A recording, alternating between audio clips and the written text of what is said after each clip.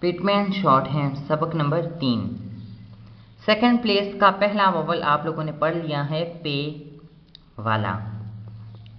मतलब एक ही आवाज़, ये सेकंड प्लेस का पहला वोवल है।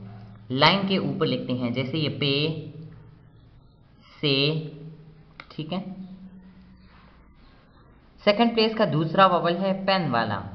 पेन वाला। पेन वाले से मुराद ई की आवाज़ है, ई की आवाज़।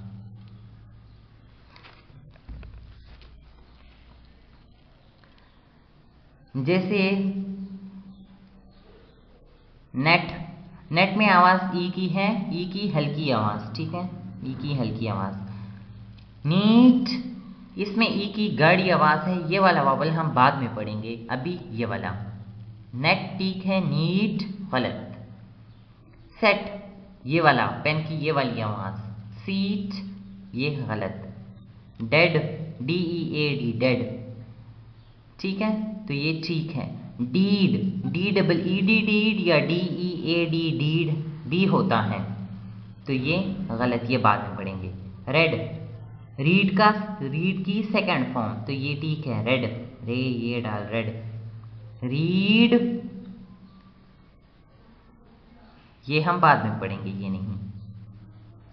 इसी तरह कैट ये ठीक है। कीट। ये गलत। इसे हम लाइट डॉट से ज़ाहिर करते हैं। पेट तो ये पी ये टी और ये ई पेट